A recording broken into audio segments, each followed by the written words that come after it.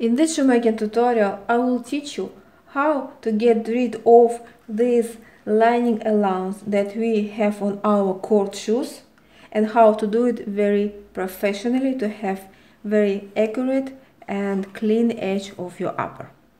Don't forget to subscribe to this channel and click the bell button to be notified when my new video will come out. So let's start.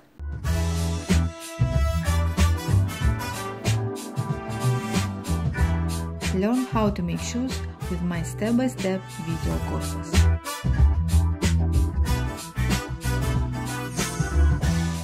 Now before I will show you how to get rid of this lining allowance, let's remind you why we actually need to have this lining allowance, why we can't cut it together with other parts of our upper. Actually, this lining allowance will help you a lot during lasting your shoes and we need to leave this lining allowance almost in every court footwear type. I mean slingback pumps, um, shoes, flat bottom shoes, sneakers, not sneakers, Oxford shoes, derby shoes, almost in every court footwear type. Why? Because when we will leave this extra lining allowance, during, uh, through this lining allowance, we can place nails and you can see the marks of the nails left on this lining allowance to hold our upper during lasting. So we can last our line we can pull our upper and lining together and we can pull it strong. So and we will be sure that our upper will don't don't move slower from the needed place because we keep our upper with the nails because of this lining allowance okay? That's why we should leave our lining allowance in these parts of our upper on both sides of the upper.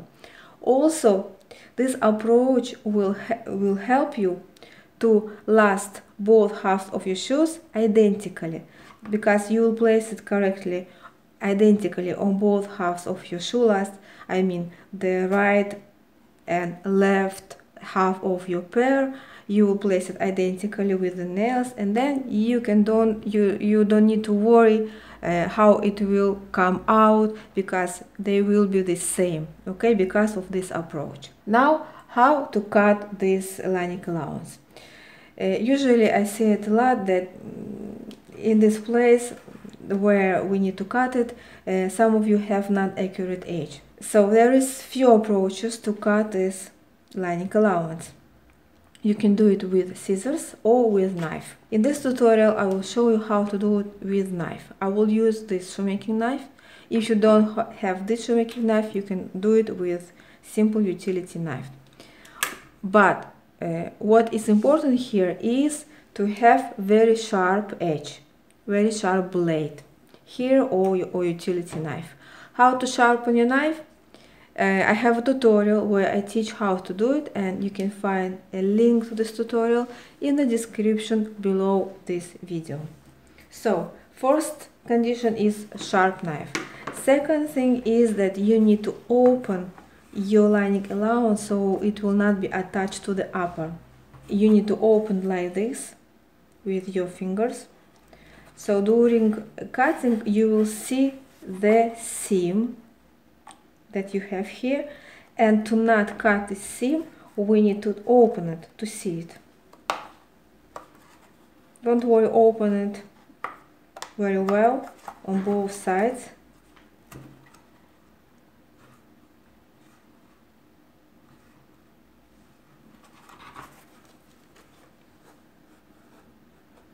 You see this is how we can open. Now when you cut this uh, lining allowance you will need to hold your knife in certain angle. It's approximately 45 degrees because if you will cut it straight you will see the, uh, the edge of the lining from this part of our upper.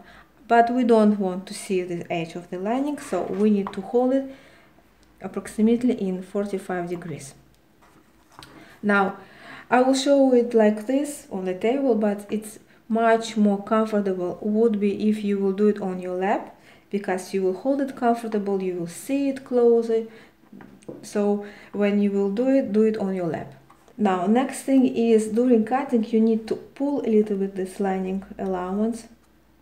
And also pay attention how you cut to not damage the seam. So the cut must be close to the seam but not touch the seam okay? So let's start. Be sure that you open it and place it approximately in 45 degrees and see the edge. Also working with this, with this approach you will not cut the upper okay? The edge of the upper. You need to pull a little bit lining allowance and do it slowly.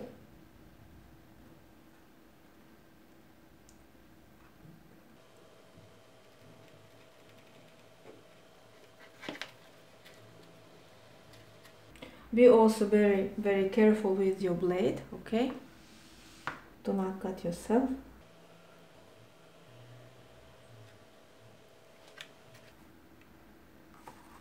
You see open it like this hold it.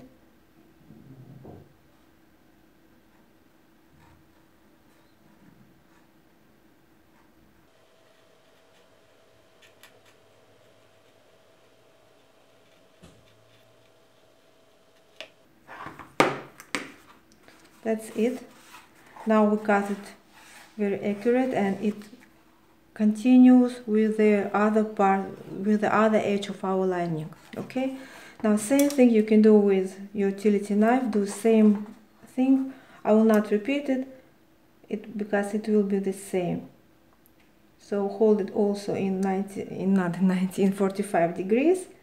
Pull a little bit the lining allowance. So you will see the beginning of the seam. You will open it like this when you will pull and place uh, the blade of the knife approximately in 45 degrees. So you will not damage the edge of the upper okay? So do it like this.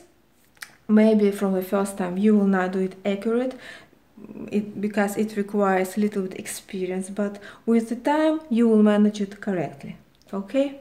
So this is one of the approaches to work with knife or utility knife or shoemaking knife. Also there is another way to cut it with scissors but it's a little bit difficult because in this place sometimes it's very uh, difficult to hold the scissors okay?